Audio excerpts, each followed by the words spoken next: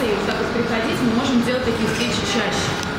Чтобы хотя бы каждый раз, когда я приезжаю в Питер, у меня спектакли постоянные. Сейчас и в ноябре будет спектакль, в декабре, и в январе. Девочки, ловите ее на слове. Да. Можно такие встречи устраивать раз в два месяца, да, чтобы просто пообщаться, какие-то...